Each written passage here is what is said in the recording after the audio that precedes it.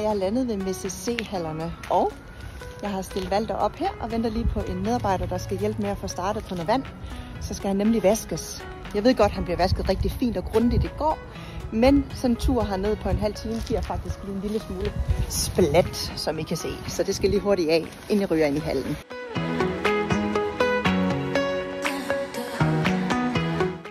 Så er Valter og jeg kommet ind i vores hal. Her er lidt tomt endnu, fordi at øh, der er rigtig mange i den her hal, der først kommer i dag. Og jeg har været tidlig på den, men øh, inde i de andre haller, der er der fuldt fyldt og fyldt op med autocamper. Så her bliver det sådan lidt anderledes. Jeg er spændt på, hvad der kommer. Men øh, for nu så vil jeg i hvert fald bare gå ind og spise mig noget morgenmad. Inden jeg spiser morgenmad, så synes jeg lige, at jeg vil fortælle jer lidt om, hvad jeg tænker, den her video skal være. Jeg aner det faktisk ikke 100%, enten at jeg har haft nogle mennesker, der har spurgt mig, om jeg ikke kunne tænke mig at lave en video omkring øh, messen her, autokammermessen. Det er lidt svært for mig, fordi jeg jo er på min stand og, og kan decideret være det, så det der ved jeg, at der er nogle andre, der kommer til at gøre, hvor de går rundt og viser en masse. Men så tænkte jeg, hvorfor så ikke komme med sådan lidt behind the scenes øh, i forhold til, hvordan er en messe for mig. Så det er, det er sådan lidt tanken, jeg vil prøve at tage jer med på min messe med mine øjne.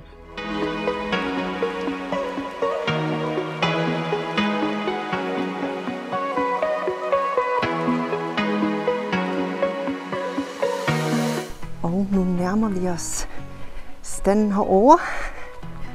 Altid en lille smule kaos, før det bliver rigtig godt. Men jeg vender helt sikkert tilbage, når det er, at det er helt færdigt. Grunden til, at jeg lige kommer herover, det er, fordi jeg lige skal hente en roll-up, som jeg skal have over hos mig. Så afsted vi går.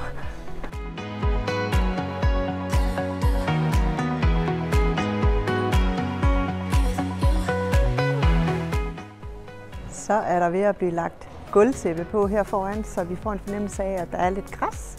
Og jeg skal nemlig have markisen og nogle møbler og sådan noget stående her, så det bliver rigtig hyggeligt at få det på plads. Der ligger plastik på lige nu, men det piller jeg af lige så snart, at, det, at vi ligesom ikke skal rode rundt mere. Men øh, jeg har gjort stikken klar her, sådan så at det kan komme ind under det, og markisen skal ud, og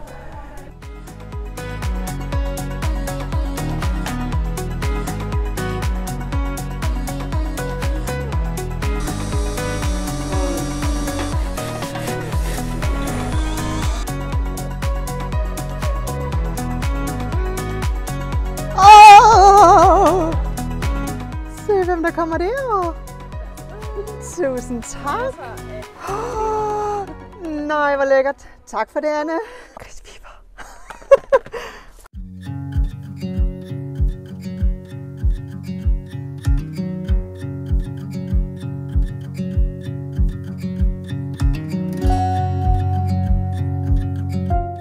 Lige gået ud i uh, Illusion-modellen, som jeg skal overnatte i her uh, de næste dage her. Jeg vil bare lige vise jer, hvad det er, at uh, jeg har fået af hotel, kan man sige. Ude foran messen, der er der noget, der hedder Camp C, hvor der er, der kommer en masse autocamper, som har booket plads. Her har vi udstiller også en mulighed for at overnatte, og derfor så har TR Camper sat den her bil til rådighed, fordi Valter jeg jo inde på messen, og derfor så må jeg ikke overnatte i den. Uh, så lad mig lige give en lille rundtur i mit hotelværelse. Altså, man kommer jo ind ad den dør her, og så vender jeg mig lige om. Så har man en sædegruppe her, og her har vi, ligesom over i Valter, der kan vi simpelthen vende dem her om, så de bliver en del af sædegruppen. Og der er også et ekstra sæde her. Udover det, så er der faktisk seng heroppe over. Lidt skabsplads. Så har vi køkkenet herovre.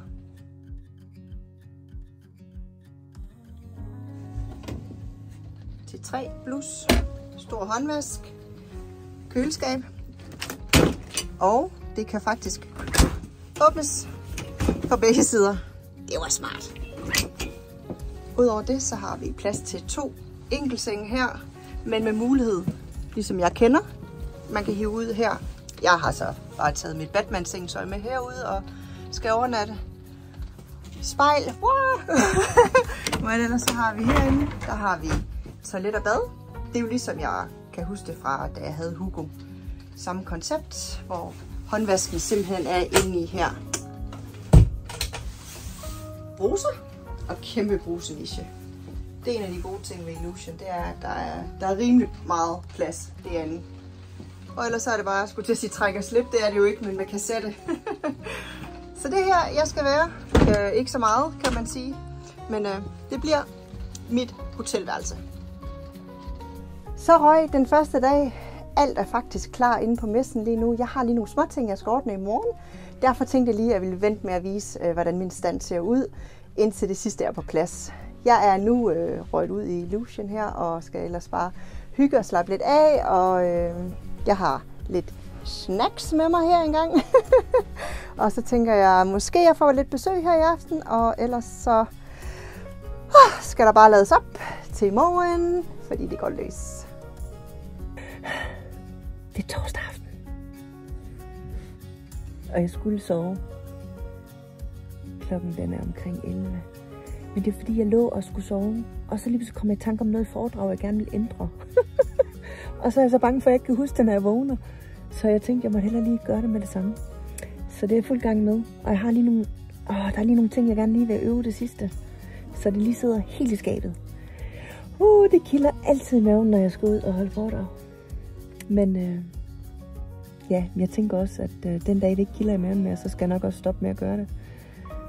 Men øh, det var bare lige det, jeg ville sige. Nu siger jeg godnat. Godmorgen herude fra mit lille hotelværelse, som jeg kalder den her bil. Jeg, øh, jeg ligger her. Klokken er 6 om morgenen.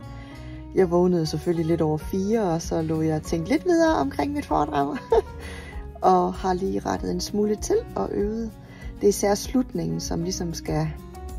Det ved jeg ikke, den, er bare, den betyder meget for mig. at lige få rundet det rigtig godt af. Men jeg synes, den er der nu. Så nu tænker jeg bare, at klokken godt må blive halv otte, så de åbner dørene derinde, og jeg kan få det, det sidste op til messen.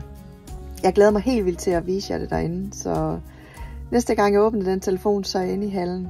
Håber jeg i hvert fald. Men øh, lad dagen gå i gang.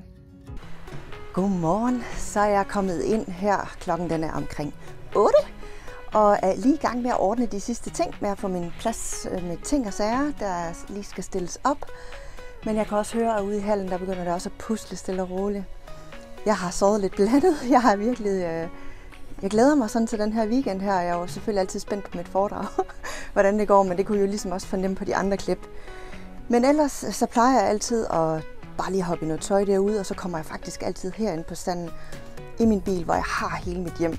Her gør jeg mig klar, får lige lagt lidt mascara, og ja, skal have mig en lille bitte smule morgenmad, men vi har fælles morgenmad her klokken halv 10. mærk. Ah, simpelthen så sulten, fordi jeg har været så meget vågen i nat, så jeg skal lige have en lille bid mad.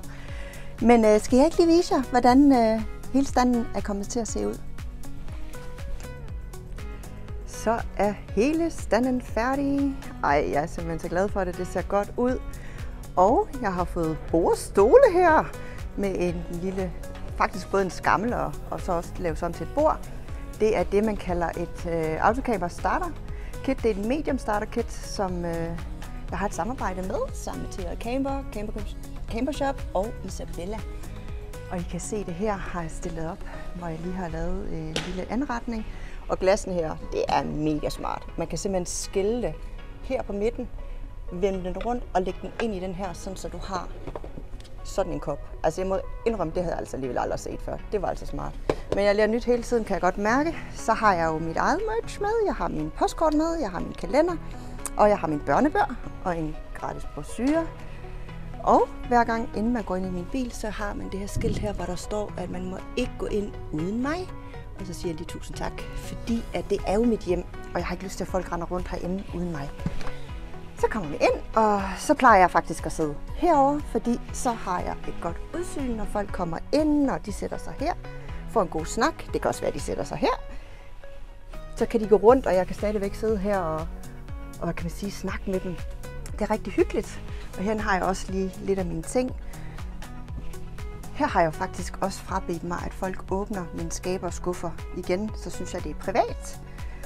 Det er rimelig varmt inde i bilen, så jeg har simpelthen sat fuld knald på maxfanen, så der blæser noget luft ind. Og ellers så har jeg der ret op. Jeg har min seng herovre, jeg har min lille lounge. Og min nisse, min grønne nisse, der er med mig overalt.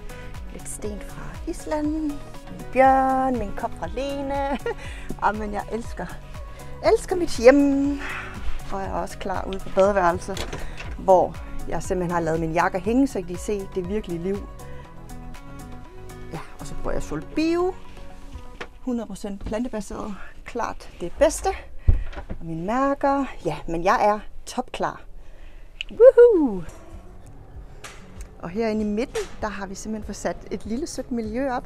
Og når jeg ser de stole der, så kommer jeg så meget til at tænke på min barndom, da vi kamperede. Altså, det er så hyggeligt. Jeg tænker ikke, at vi får ild i bålet, men det er også okay. Og se lige her, jeg har fået lidt dekoration herover også, så der lige kom lidt farver på. Vi snakkede om, at det lige pludselig vil være en lille smule sort-hvid, kontra at der er så meget farve lige her. Så lidt pep kom der også på min stand her.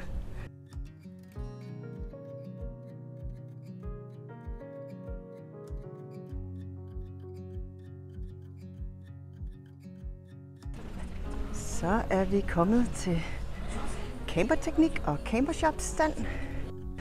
Men jeg synes, at Tony skal introducere os, hvad vi har med her. Hvad så? Kan vi lige få en gennemgang af, hvad vi har her på standen? Det kan vi i hvert fald. Vi øh, har lidt øh, forskellige batterier. Øh, I lithium selvfølgelig, og så er det almindelige batteri derovre, men lidt for at forklare forskellen i, øh, hvad folk har behov for det. Hvad er den store der? Den store, det er nok det største batteri, der findes på markedet, hvor man kan få 460 ampere under sit førersæde i en Fiat Ducato. Det tror jeg ikke, der er ret mange andre batterier, der kan. Wow. Næste har vi nogle forskellige tankflasker, for at vise, hvor mange muligheder der er. De første derovre er med tankning direkte i flaskerne, hvor de her over de er med ekstern tankning, øh, hvis folk ønsker det. Og der findes mange størrelser og hvad, hvad behovet er.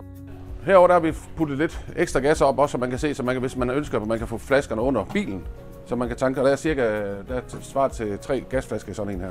Forskellige monteringsmuligheder ind til bilen. For duekontrol og monokontrol. Øh, og selvfølgelig med filter på. Så har vi lidt øh, luftaffjering, øh, hvad mange ønsker i dag, fordi at, øh, det giver lidt bedre kørekomfort, og det giver, gør også det, hvis man har meget øh, last i garagen, så kører bilen lidt bedre. Vi har nogle øh, overvågningsalarmer fra her det øh, varer, som er både udendørsalarmer, men også i forhold til øh, både med fugt faktisk, og med dyr, hvis man har øh, små øh, øh, dyr i bilen. Altså mus eller hvad? Mus og rotter, nej, rotter har vi ikke så tit, men mus er større. Ja. Mus, Ja, okay. Smart. Så har vi lidt øh, hydraulisk støtteben, lidt elektrisk støtteben, som øh, blev mere og mere populær her på det sidste. Og en af vores største sælger, der har vi i hvert fald her, det er i form af Ja. Max-fan. Den, den er efterspørges meget. ja, og den må jeg også indrømme, jeg kunne aldrig drømme om at have en autocamper nu, uden at have den. Nej. Den er guld værd. Og den har en kæmpe fordel ved, at den kan stå åben, når det også når det regner. Ja. Så det er en af, det er en af de, dem, vi monterer rigtig mange af. ja. Og den fås jo også med forskellige glas. Den fås med hvid og klar glas ja. og, og den mørk der. Men man skal lige tage højde for selvfølgelig, at med det klare glas, der får man meget dagslys ind, når man skal sove. Herom har vi lidt øh, dørlås, sikkerhed. Lidt, øh, som nogen har øh, med prikstop til øh, for, for- ved fordørene, og selvfølgelig også bagdørene på en, på en vane i hvert fald, men fordørene på en del integreret. Og så en lås til AdBlue. Der er åbenbart nogen, der har haft problemer med, at de har taget, øh, taget stjålet deres AdBlue. Da. op. Øhm, udvendige bruser Ja, guld værd. er, hvad vi oplever lidt, øh, også blevet lidt populært, men mange gange faktisk til øh, at skylle hunden Ja. ja. og poter og ting og sager. Uh. Der skal vi jo snart hen med mig. Ja, det tror jeg. Den skal være ren, når den kommer ind. Jo. Ja. Vi har lidt øh, filter, som også er til, til vand, vandrensning. Til sådan nogle som jeg, som ligger og rundt alle steder, hvor man, vandet ikke er lige så rent som det er i Danmark. Og noget spildevandstømning. Men hvad her, det, det vi egentlig skal kigge, det er det her nede, fordi det er selvfølgelig til vores vans. Dem øh, er vi egen importør af øh, til busbiker til at cykelstativ bag ved bagdørene, så man kan komme ind og få fat i tingene inde i huset. Smart. Og det er den, den anden type der. Men hvordan, jeg forstår ikke lige helt, hvordan... kan Det den er fordi, der? at det er, når man øh, har bagdøren inde bagved herinde, Ja. og skal man skal, og cyklen står her, så kan man lige trække den her ud, så man kan komme ind. Nå. Ej, det var smart. Så er der stadigvæk mulighed for at åbne bagdørene bagved. Ja, ja, Så det er bare et supplement til den her. ja. Ja, den vejer vel også mindre, gør den ikke? Jo, det gør det, men nu er det lige så meget tiltænkt til dem, der har et anhængertræk i forvejen. Nå, ja, okay. Der, den der, kan, der kan den ikke erstatte den, den der. Ja. Så har vi lidt radioer, som vi også monterer en hel del af øh, i nye biler. Og det er jo ønskerne så vidt forskellige, om nogen vil bruge få penge på en radio, eller mange penge på en radio. Ja. Så er det bare lige taget et lille udvalg på øh, med her, hvor det, det, det er den sidste nye, vi lige har fået med. En er en Springer, øh, som er en hvad skal man sige, stor radio med, med en prisbillig segment, den er kun til 8900. TV og bakkamera, Øh, men ja. herover er nok det, vi monterer mest af, Ja. for at være ærlig. Solceller, regulator, booster, lithiumbatterier og inverter. Det er jo en kæmpe stor del af, for, af det, vi har med at gøre i dag. Ja, det kan vi jo ikke leve uden, når vi er ude på vejen. Altså. Nej, det, er, det er så umuligt. Folk har en forventning, de har meget mere med at bruge strøm i dag, end man havde for 10 år siden. Og de har en forventning om, at det altid virker. Ja, Og der skal altså lige lidt udstyr til. ja. Men heldigvis er der blevet nogle ting, som er blevet meget bedre de senere år, men også prisen er også faldet på det heldigvis. ja. Og så har du noget helt vildt smart om på den anden side her. Jeg, skal, jeg ved ikke, vej du vil, for vi vil godt. Du går med rundt, vi har Mikkel stående heromme. Uh, ja, det er rigtigt. I sponsorerer jo Mikkel. Vi sponsorerer Mikkel, ja. Ja. Og, og mega stolt af det. Ja, det kan jeg godt Og vi har også fået lov til at heldigt at låne en af hans cykler herinde, Ja, så vi lige kunne vise, at det kunne stå inde bag sådan en vane. så det har du også mulighed for, hvis Ja. du vil ud og, og have cykel eller... Ja, eller dyre. Men også nogle, der har dyre, altså de der, har mega dyre cykler. Ja, Altså til Ja. 60 og 80.000. De er altså at have dem hængende ude bagpå og få regnvand og rust og alt muligt andet. Ja. De vil gerne have dem ind i bilerne. og det var da Så- sødt af ham, at vi lige kunne få lov til at låne Det var dejligt, ja. Men herom er nok mere til, til dit segment, Anja. Ja, Og du engang skal have en kajak. jeg, jeg er ikke lige kommet dertil endnu. Jeg synes, jeg har rigelige hobbyer lige nu. Ja, det er det. Men jeg synes simpelthen, det er så smart. Jeg, jeg havde slet ikke forestillet mig det her i går, da det var, at I satte det op, at det kunne komme ned på den måde. Nej, så har vi lige prøvet at lave et supplement, hvor man kan vise, man kan udvide med, med solceller. Øh, derop, øh, fordi det er tit et problem, når vi, har, vi fylder tagene med, med udstyr, så kan vi ikke rigtig få øh, solcellerne til at virke. Der har vi lavet et her, hvor man så kan slå den ud som to, når man holder stille. Ja, Også når den er hævet op på taget. ja. Men det Og gør så- jo også, at sådan en som mig ville kunne tage min egen kajak og komme ud og, og være i kajak, hvis jeg var alene, ikke? Præcis, for du kan Ja. håndtere den herfra. Ja. Det er ikke til at, næsten umuligt at få den op på Ja. taget og, og håndtere det. Her der kan du stå det i normal højde og læse Ja. den. Og der kan, den, den kan, hvis man ikke har solceller på, at mærke, så kan man få den til tre kajakker. Ja. Øh, og der er jo nogen, der kan, har jeg erfaret, at der har flere forskellige slags kajakker, som også er vigtige. Man har den slags og den slags. Ja, ja, så er det noget med et forskelligt vand eller et eller andet også. Præcis. Ja. Så det, det, er, det er noget, jeg ikke kender noget til, men jeg vil gerne lære lidt om mig. og Vi har da faktisk snakket om, at vi godt vil ud og prøve det. Ja. Om igen. Og så har vi lige hængt sådan en aircondition på, fordi at mange, der ikke ønsker at få en aircondition fastmonteret, har jo mulighed her for at sætte en på, som så man kan hægte ud, når man kommer til Italien de der få gange om, om sommeren, hvor man har brug for det. Det var da smart, ja. Også fordi så har du heller ikke kiloene med nødvendigvis, når det er, hvis du skal noget helt andet og, Nej, ja, om og, vinteren, ikke også? jo igen, og har du den løsning her, kan det måske have svært at have den på taget, fordi at den, øh, du skal have den på taget også, og solceller og alt muligt andet. Ja. så har du bare ikke mulighed for at have plads til, til aircondition. Så jeg synes faktisk, en, en, og en prisbillig løsning også, det til ja. 5300, ikke også? Øh, Ja. Hvor de andre, de er i 20. Ja. Øh, så, men selvfølgelig, man skal gøre lidt for at få den til at virke. Man skal ikke ud hver gang. Ja. Ja, ja, men det tror jeg også, man gør, hvis det er varmt nok, ikke? Jo, så tog vi også den her med, fordi vi er også øh, ene forhandler af den nye front, der er her til Fiat, som øh, kaldes Racing Ducato. Det er sådan til dem, der godt vil style lidt ekstra. Ja, jeg kan godt se, det er sådan lidt, der er lidt racer. Ja, der går lidt dreng i det der. ja. Men det er jo også blæret nok. Det, ser, det bliver lidt Batman i mine det- øjne, ikke det også? det. det kan jeg godt lide. Så øh, ja, jeg har selv fået den monteret, for jeg synes, den er så flot. Men, men øh, der er nogen, der gerne vil have det. Det er ikke alle, men det, er- jeg synes, Ja. det. Jamen ved du hvad, så siger jeg dig tusind tak, Tony. Tusind tak. Så lad os øh, gå over og få noget morgenmad, ikke ja, også? kan du have en god messe? Ja, i lige måde tak. Godt.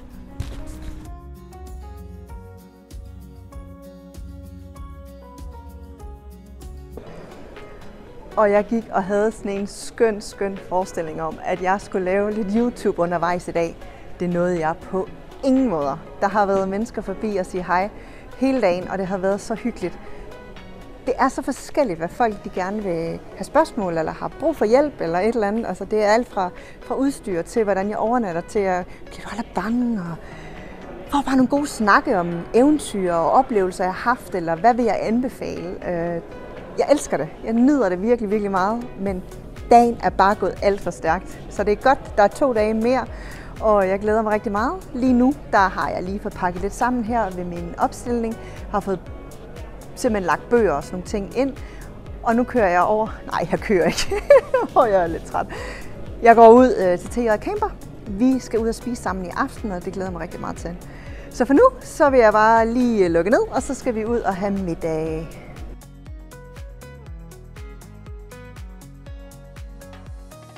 Godmorgen. Ah, klokken er 9. Jeg er kommet ind i hallen og sidder nu her i Valder og er i gang med at spise morgenmad. Får lige lidt yoghurt med noget ymerdrys. Og øh, så smutter jeg lige hurtigt igennem mit øh, foredrag, fordi det skal jeg holde ret tidligt her i dag. Det bliver egentlig ret nok at få det overstået. Jeg elsker jo at stå der, det er slet ikke det. Men så skal jeg ikke tænke over, åh, nu skal jeg snart på scenen og holde øje med klokken og alle sådan nogle ting der. Så øh, messen i går gik bare helt fantastisk. Altså, det var en fed dag, og jeg glæder mig bare til lørdag og søndag her også. Og jeg når simpelthen ikke at filme derude, og samtidig synes jeg også, det er lidt grænseoverskridende at skulle filme folk. Øh, så jeg, jeg, jeg, jeg ved ikke lige, hvor meget der kommer med, men I får i hvert fald det her behind the scenes øh, med mig og mine tanker, og lige sådan en lille smule sidder jo herinde i hallen, så vi kan se derude. Og oh, den vej. Der. Nej, der. der, øh, der er de jo alle sammen også ved at gøre sig klar, fordi vi åbner her kl. 10. Men jeg skulle lige have min morgenmad og lige igennem, lige igennem nogle små ting i foredraget, jeg lige kunne mærke, at jeg gerne ville ændre i går. Øhm, men jeg håber, jeg ved, at der er så andre, der laver videoer omkring Autocamper Show. Så hvis I virkelig gerne vil se, hvad Autocamper Show er, så gå ind på Autocamper Shows Instagram, men også øh, Google, bare google det, eller hvad hedder det, øh, søg på det på YouTube, så kommer der altså nogen, der, der laver nogle videoer herfra. Men nu skal jeg øh, lige gøre mig klar, og så må vi se, om jeg når at optage. Jeg håber, at øh, jeg kan få nogen til at lige optage lidt fra mit foredrag, så jeg lige kan vise det i et klip.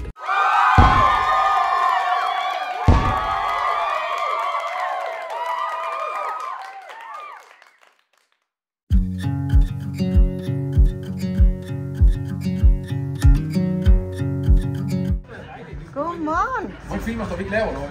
Ja. Jeg er hoppet lidt ind i bilen her. Jeg har lukket min dør, så der er ikke nogen, der kan komme ind og sige hej. Jeg skal ind og holde foredrag lige om lidt, og øh, det kilder altid maven, når jeg skal det. Uh. Det gik super godt i går, og det gør det forhåbentlig også i dag. Øh, jeg har altid lige øh, musik i ørerne. Jeg kører lige to musiknumre.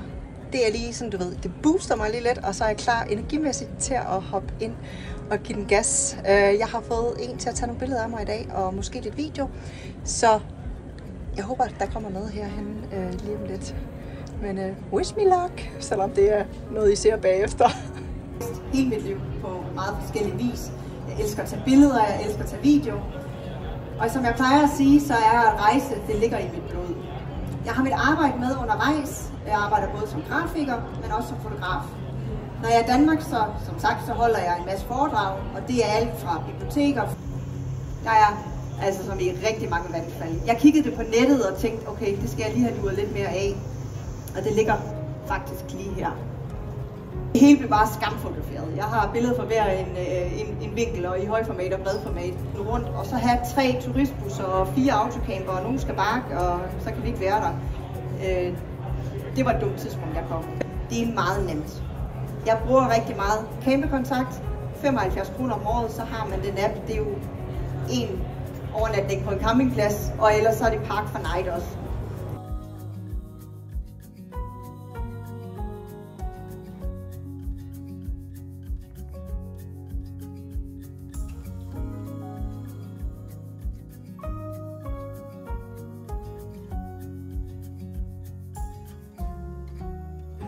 Så står jeg pænt herude foran og lige venter på, at øh, dørene bliver åbne. Det er altså udstillerdørene, der ikke bliver åbne, og det er klokken 9. De skulle være åbne klokken 8.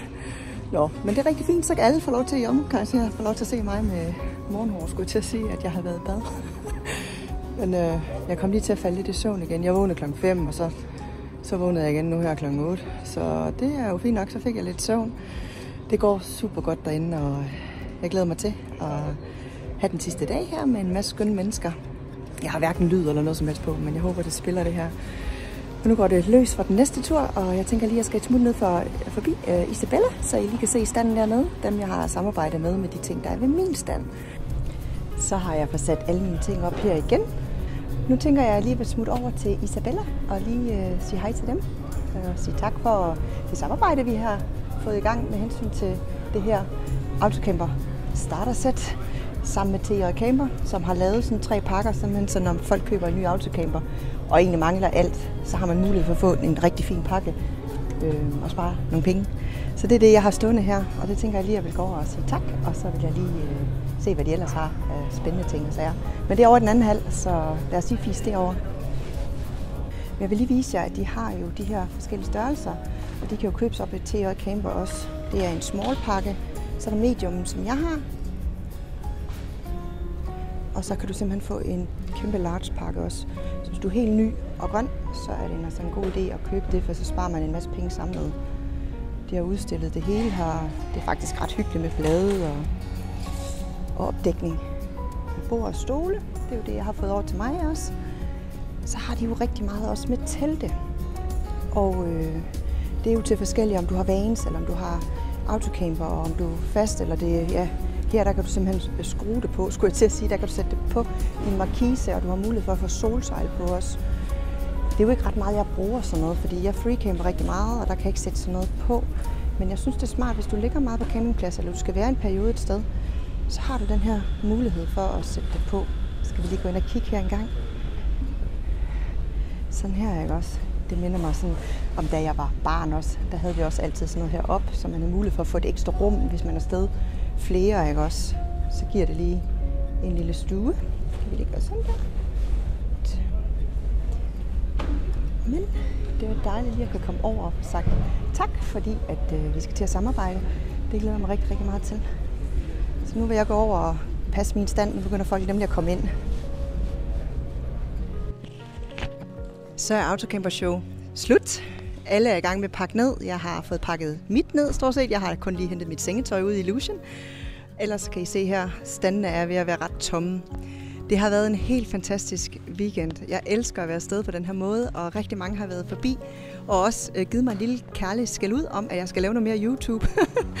jeg vil det rigtig gerne, og som jeg også sagde i den sidste status, så er det jo også... Øh, så har jeg lidt travlt en gang imellem, så det bliver ikke lige så meget, når jeg er hjemme i Danmark.